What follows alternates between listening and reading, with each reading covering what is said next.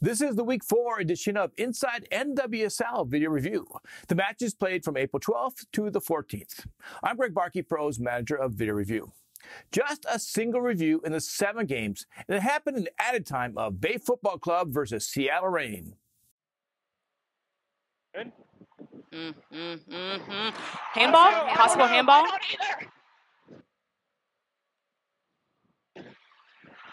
Okay, can we go back? Delay, delay, delay. Okay. Okay, so if we could, right, so just freeze it when her arm goes up, and I have clear contact with it. We have goal on the field. Right here, yeah? And play it through, and bring it back one more time. Just wait. They will check. Okay, and 25%? Yes, clear handball. Arms above the arm, or arms above the head. So we have goal. I think they're arguing for a possible handball. Okay. Kacha, this is Alyssa. I'm going to recommend a review for a handball in the APP. So we're going to show her the tight right here. And we're going to show her, yeah, just, we'll show her this right here. Just let us know when you're there.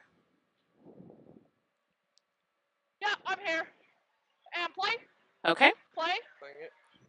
Oh, no, I need a bigger loop. Come back. Oh, Come wait, back. I'm sorry, you, you broke up. What did you say? Bigger loop. Loop. Bigger loop. Yeah, play now.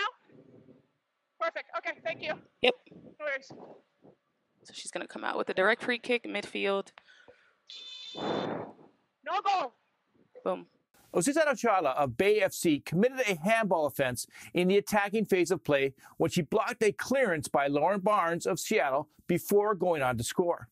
Her arm was in an unnatural position above her shoulders when it blocked the ball, which is important to note because this is a deliberate handball offense, which is different from an attacker handball, since this would not be considered an immediate goal.